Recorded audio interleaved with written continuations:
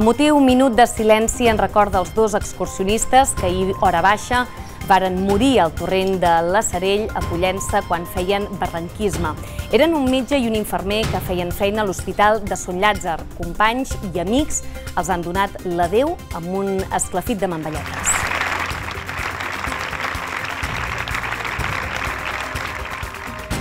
Bon vespre, nou anys després d'iniciar-se la investigació d'una suposada trama de corrupció policial per afavorir els interessos de l'empresari de l'oci nocturn Bartomeu Corsac, ell i els principals investigats n'han quedat oficialment absolts avui. Tant Corsac com la seva mà dreta, Bartomeu Esbert, ja no tenen comptes pendents amb la justícia. A mesura que ha avançat el judici, Fiscalia i les acusacions particulars han retirat els càrrecs de formar part d'organització criminal, suborn o extorsió per falta de proves.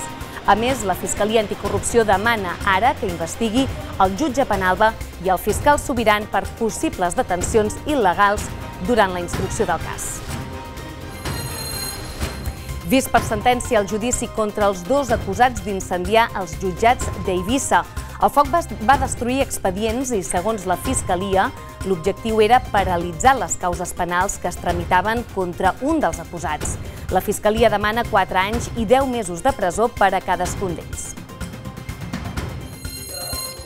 El Parlament pren en consideració la iniciativa legislativa popular de benestar de les generacions presents i futures, impulsada pel grup ecologista GOP i avalada per les signatures de 12.000 ciutadans, ara iniciarà la tramitació per convertir-se en llei. Els impulsors de la idea han valorat el significat d'aquest fet pioner. El simple fet que ja hagi passat el primer tràmit és històric i el segon fet és que s'ha aprovat tramitar aquesta llei de justícia intergeneracional, aquesta llei per benestar les generacions presents i futures, que inaugura un nou concepte, un nou marc eh, polític i cultural per atendre les necessitats de la ciutadania. Els brots de sarna s'han duplicat durant el darrer any. Bona part dels casos han estat detectats a centres educatius, grups familiars i residències de gent gran.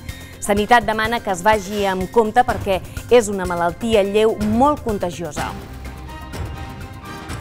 I un dels programes amb més èxit d'IV3 Televisió ha estat reconegut avui pel Col·legi de Psicòlegs de Balears.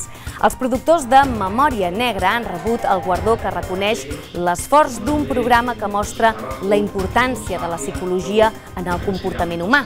De fet, la participació dels psicòlegs en diferents capítols ajuda a entendre determinats comportaments.